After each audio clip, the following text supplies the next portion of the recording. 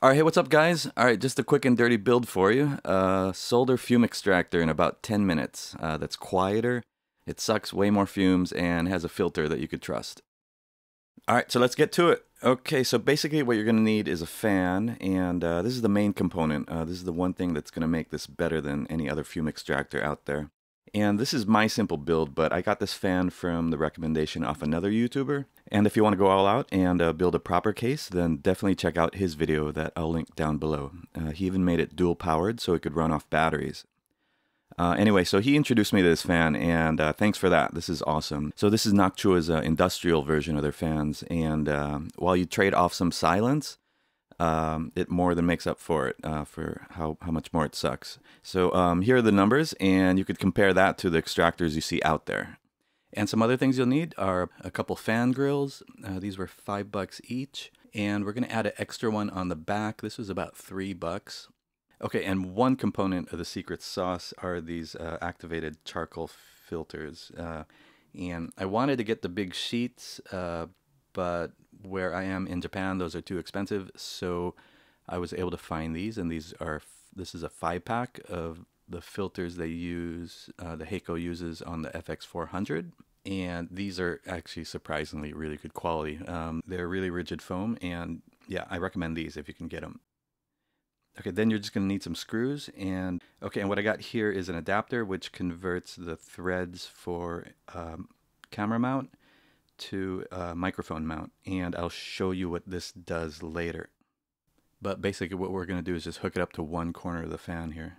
And this will be like a support that will help stand it up, uh, but it will do something else. Uh, if you didn't want to do that, you could just stick a really long screw in here and that will hold it up as well. And some other things you'll need are a power supply, uh, which I'm pretty sure maybe you guys got lying around. Um, if not, this fan doesn't pull that much current, so you could buy one for 12 bucks.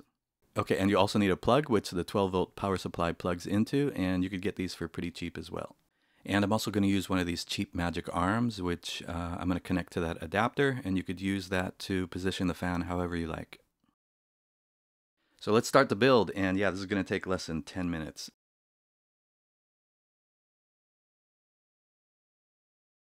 So uh, first I'm going to hook that uh, adapter mount to one of the corners of the fan, the back side.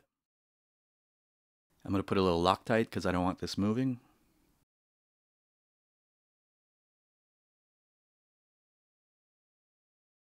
Okay, so then basically I sandwich the foam between the two metal screens and I screw it on. And using these Hakko filters, uh, they're pretty rigid, so it's just holding itself on there. But if you're using foam that kind of compresses easily, you might want to stick some uh, washers or nuts in between the two grills to uh, keep them separated so they don't compress on that foam of yours.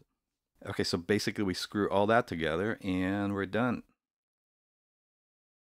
Okay, and as you can see here, there's this little gap uh, between the grills and the fan, so I'm just going to cover those up. I could use electric tape, but I hate the sticky residue that stuff leaves behind, so I'm just going to use gaffing tape.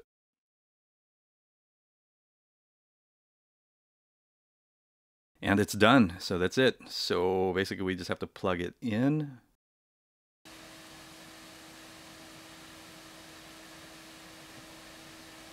And that looks pretty good. Uh, and you can see how far I could move out here. And for my purposes, I think that I think that will beat most fans. And I don't know if you could hear from the video, but this is really quiet. 41 decibels isn't silent, but uh, this is super quiet. And you can see how I'm using this with a magic arm. And this is one of the longer ones I bought. And this works surprisingly well. So one knob to loosen everything so I can move it around. I lock it in and I can put it in any position that I want and it works great. And there you go. A pretty minimal design, but I think it works great. Uh, it looks great, actually, and um, it's really quiet. And yeah, sure, you could buy one with a case, but I think this is better. Uh, it's light, and with the magic arm, I can move it in and out of my workspace and put it in any position I want. So yeah, guys, go build it. Take care.